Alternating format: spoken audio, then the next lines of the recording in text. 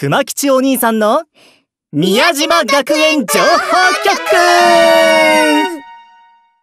って何ですこの企画。熊吉さんと一緒にあかりさんたちを紹介してほしいって偉い人からお願いされたんですけど。そうだね。僕たちの日常を描いた PSP ソフト鬼ごっこポータブルが発売されるにあたって攻略対象であるメインヒロインを紹介しようという企画みたいだね。わーい。私たちのプライバシー全無視だ。ってあれちょっと待ってください。攻略対象のメインヒロイン？これって確かお兄ちゃんが主人公ですよね。ああ。プレイヤーは葵くんの兄浦部圭介になって各ヒロインを攻略していくという恋愛アドベンチャーゲームで。私は！あ？私もヒロインじゃないんですか！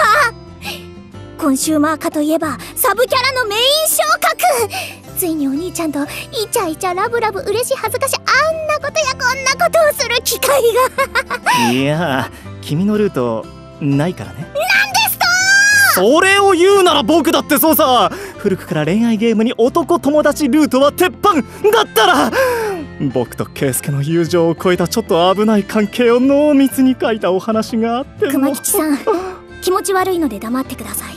あと気持ち悪いです。大事なことだから2回言われた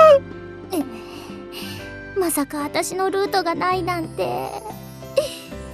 え早く紹介に行ってください？やればいいんでしょやれば。うわー担当者のもげはいはい。それじゃあ泣いてないでヒロイン紹介に行こうか。それでは最初に紹介するのは彼女からだね。僕やカナの幼なじみ吉備罪やあかり。おとぎ話がテーマの本作で桃太郎を担当するのが彼女だね。僕らの島では吉備罪家は桃太郎の子孫だと伝わっているよ。あかりさんって言えば生真面目な印象がありますよね。メガネやお下げはしてないけど院長タイプっていうか悪いことは絶対に許しませんって性格というか。さらに文武両道でハキハキとした明るい物言いとくれば男子だけじゃなく女子にもモテるんじゃないかな葵くんは同じ女子目線で明かりを見てどうだい？お兄ちゃんを狙う目標ですね。おっぱいが大きいからって。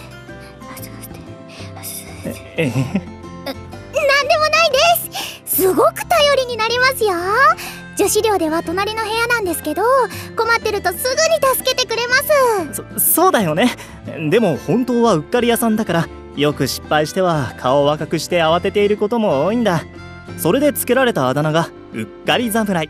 えー基本スペックが完璧なのにちょっと隙があるなんて。これが女子力！女子力なまあそれでよく裏を取り逃がしたりしているみたいだから本人的にはうっかりなところを直したいみたいだけどね。のじゃあお兄ちゃんが捕まらないためにあかりさんにはずっとうっかり侍でいてほしいな。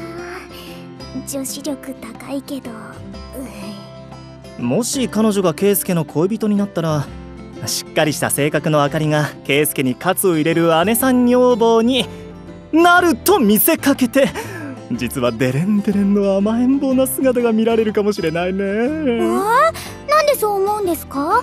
あかりさんのイメージとは真逆だと思うんですけど。だってギャルゲー的にはそっちの方が燃えないかい？あデレデレ系ヒロインのが僕大好物だよ。ただし妹属性に限る早くなんとかしないと。